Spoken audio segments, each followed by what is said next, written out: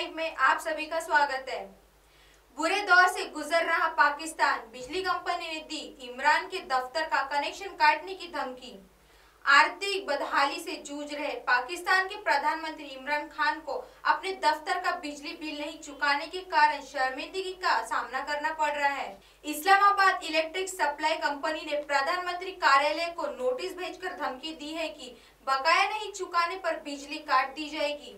पाकिस्तान को भारत का दो टूक जवाब माहौल न बिगाड़े इमरान खान के मंत्री। विदेश मंत्रालय के प्रवक्ता रविश कुमार ने कहा कि भारत के आंतरिक मामलों पर पाकिस्तानी नेताओं के हालिया बयानों की हम कड़ी निंदा करते हैं। यह बहुत गैर जिम्मेदाराना बयान है। उन्होंने कहा कि पाकिस्तान के मंत्री शेख रशीद पर भारत का बयान माहौल को खराब करने की कोशिश में दिया गया है। चिदम्बरम को 5 सितंबर तक ईडी की गिरफ्तारी से राहत। सुप्रीम कोर्ट ने आईएनएक्स मीडिया मनी लॉन्ड्रिंग मामले में पूर्व गृह मंत्री पी चिदम्बरम को ईडी की गिरफ्तारी से 5 सितंबर तक राहत दे दी है।